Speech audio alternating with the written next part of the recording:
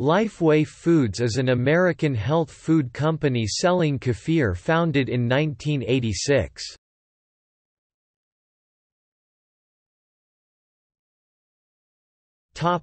History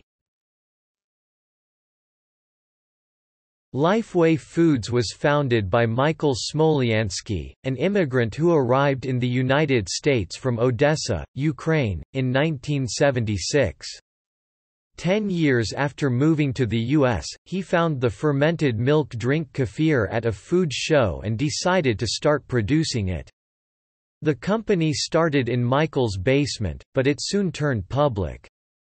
After Michael's death in 2002, his daughter, Julie Smolyansky, took over the company.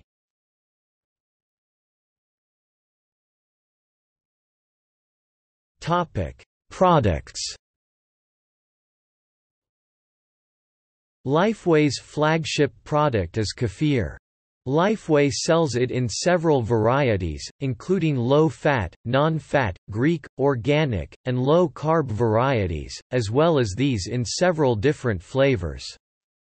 The company also produces farmer cheese resembling Eastern European-style tvorog.